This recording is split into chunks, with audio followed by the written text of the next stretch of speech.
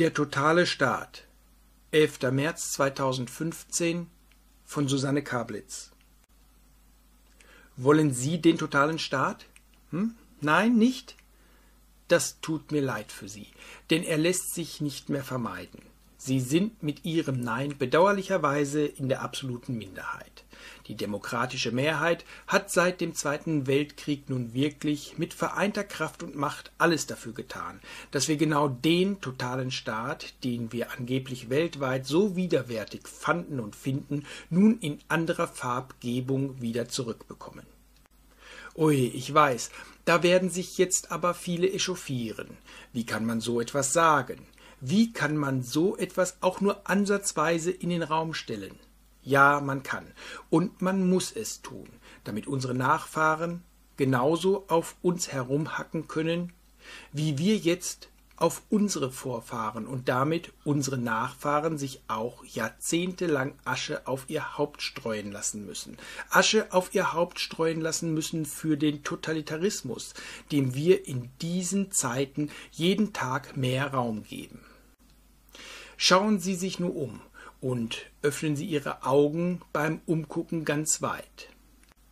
Nicht feige sein. Blinzeln ist nicht erlaubt und weggucken gilt auch nicht, wenn das Gesehene einem nicht gefällt. Das haben die Menschen auf dem gesamten Erdball immer getan, wenn sie etwas sahen, was ihnen nicht gefiel. Und die, die sich dagegen gewehrt haben, wurden beiseite geschafft. Ja, ich weiß, Sie glauben, dass das nie wieder passieren wird, aber da schummeln Sie beim Gucken schon wieder. Noch wird zwar keiner physisch exekutiert, wenn derjenige etwas sagt, was dem totalen Staat nicht passt. In unserer modernen Zeit ist man da viel gewitzter geworden. Heutzutage stirbt man nämlich den langsamen Tod. Der ist für die Denunzierer auch viel lustiger. Da hat man länger etwas davon. Also nochmals, schauen Sie mit offenen Augen, was sehen Sie da?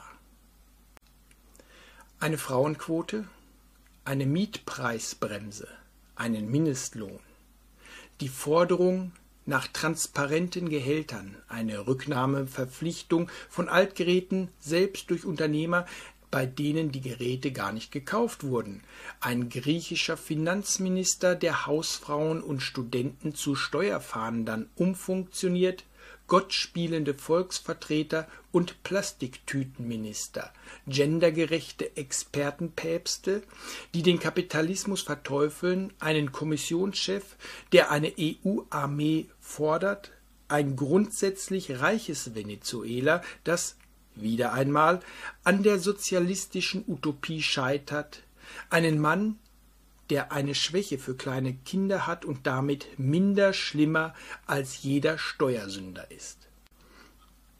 Ja, das sehen Sie eigentlich und trotzdem lassen Sie und viele, viele andere all dies durchgehen, ohne mit aller Macht gegen den totalen Staat aufzubegehren. Nein, wir schauen zu wir ergehen uns in Hoffnungen. Hoffnungen waren schon immer ein wirksames Analgetikum. Solange die Menschen einen Funken Hoffnung haben, ertragen sie jeden Schmerz, ganz egal wie heftig und grausam er ist oder sein wird. Hoffnung hat auch ein Grieche namens Baschigos Nikolaos in seine Helden in der griechischen Regierung gesetzt.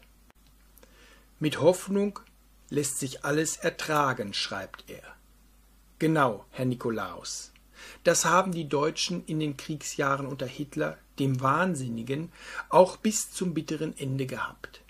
Und wenn es jetzt eine kommunistische Regierung ist, die die Hoffnung der Menschen verdient, na bitte sehr. Die Rechnung kommt, ganz sicher, wie immer.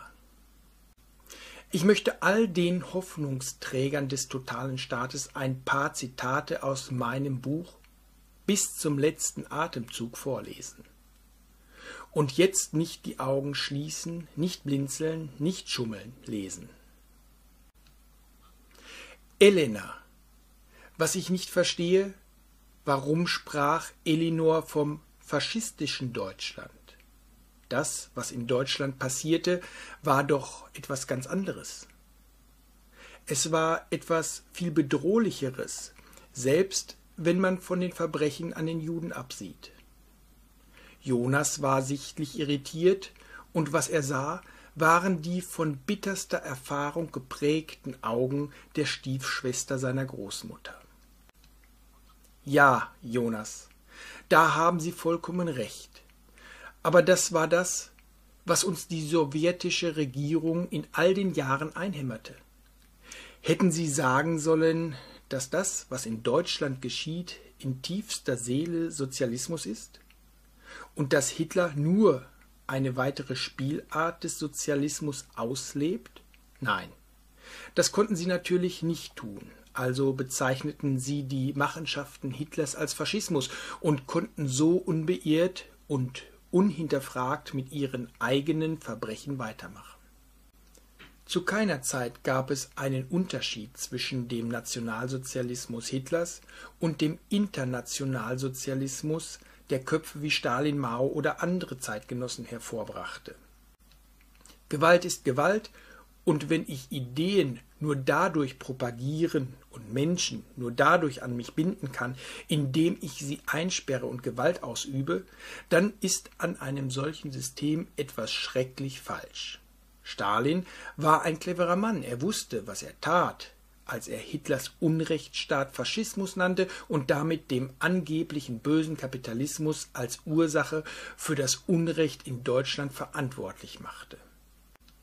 Was mir dabei nie einleuchtete, war die Tatsache, dass Hitler ja kein Geheimnis aus seinen Bestrebungen machte und sie lediglich konsequent umsetzte.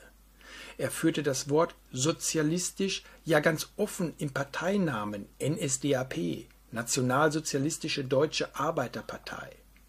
Was gab es hier jemals zu interpretieren? Wahrscheinlich wird auch heute so gern von den Nazis, nicht aber von den Nationalsozialisten gesprochen, um die sozialistischen Ursprünge zu verdecken.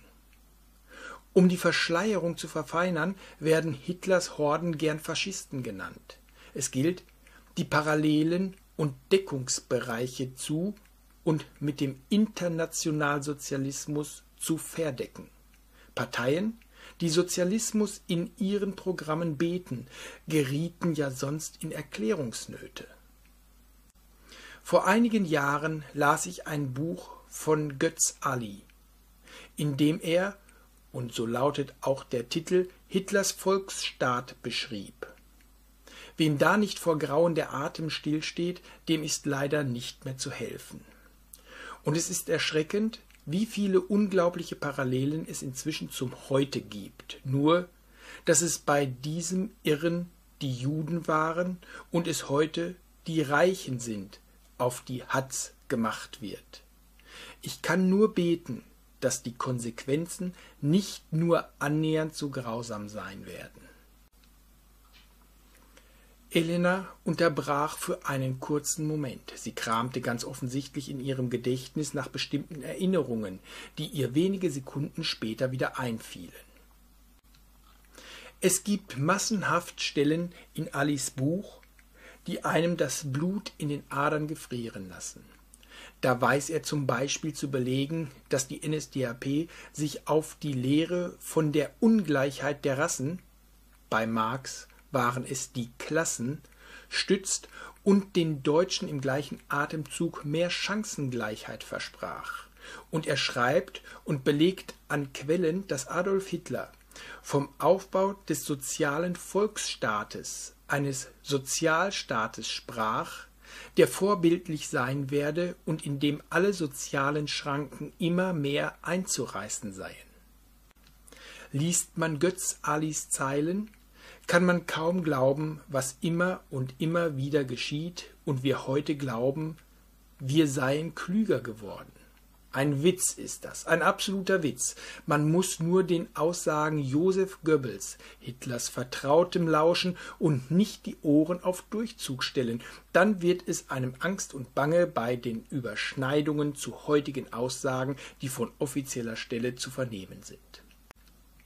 Ach ja, an eine Stelle kann ich mich noch besonders gut erinnern, da schreibt Götz Ali unterlagen die Zentralbanken und Finanzverwaltungen dem Zwang, den nationalen Geldmarkt sehr weitgehend der deutschen Kriegsfinanzierung dienstbar zu machen.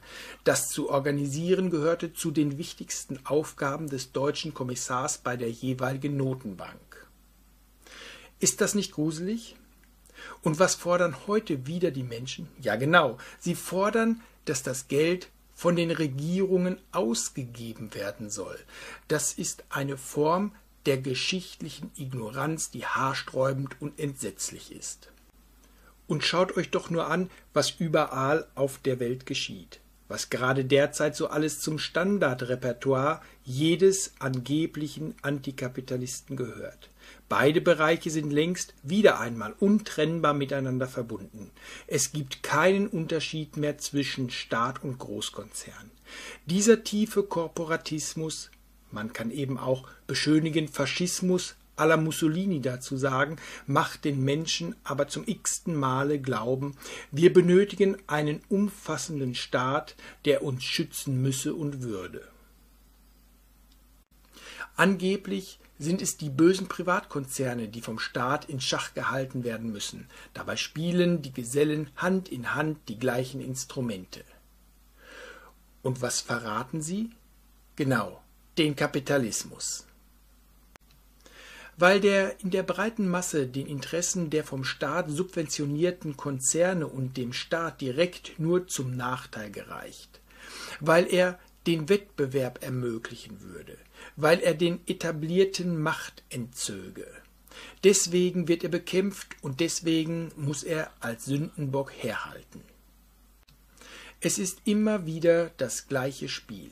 Aus diesem Grund tat meine Mutter alles, nachdem sie als weit über 80-Jährige endlich nach Westdeutschland ausreisen konnte, um die Menschen aufzuklären. Sie war zutiefst bestürzt, als sie feststellte, mit welcher Leidenschaft ein reiches Land wie Westdeutschland den Garanten für Wohlstand und Freiheit mit Füßen trat. Sie gründete Bürgerbewegungen, sie organisierte Demonstrationen, die die Dinge wieder gerade rücken sollten. Sie hat es nicht geschafft, und das brach ihr das Herz. Erst heute Morgen beobachtete ich eine Gruppe junger Leute, die lautstark gegen den Kapitalismus und für mehr staatliche Regulierung demonstrierten. All diesen geschichtsvergessenen Bürschchen würde ich nur zu gern drei Wochen dort gönnen, wo sie ja so unbedingt sein möchten. Vielleicht würde sich dann ja etwas ändern. Denn weder das, was in Hitlerdeutschland geschah, noch das, was in Russland geschah oder in China oder oder oder war jemals eine Folge des Kapitalismus. Die Ursache für all diese Verbrechen war immer der Sozialismus, immer. Diese jungen Leute sind zu jung, um wissen zu können, was sie da tun. Sie haben keine persönlichen Erfahrungen mit dem gemacht, was sie sich so herbeisehnen. Sie finden es schick, für etwas zu kämpfen, von dem sie glauben, ein solcher Kampf würde sie von anderen in moralischer Hinsicht positiv abheben. Ein Kampf, der sie zu besseren Menschen macht. Sie sind nicht bereit, die richtigen Schlüsse aus der Geschichte zu ziehen und im Respekt vor den Opfern der menschenverachtenden Kollektive Demut zu zeigen. Nein, statt diese Verhältnisse nie mehr zuzulassen, fühlen sie sich in ihrer vermeintlichen Gutmenschlichkeit ausgesprochen behaglich und nicht nur das. Sie suhlen sich geradezu in ihrer unerträglichen Moralarroganz und ihrer gefährlichen Ahnungslosigkeit. Aus bis zum letzten Atemzug, Seite 328 bis 330. Erkennen Sie Parallelen? Erkennen Sie Gemeinsamkeiten? Dann tun Sie endlich etwas. Herrgott noch einmal. Dieser Artikel erschien zunächst bei Freiraum, das Magazin für klassischen Liberalismus.